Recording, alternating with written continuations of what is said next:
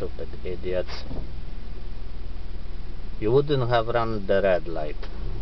Oh, but the red crossing? Yeah, it's okay.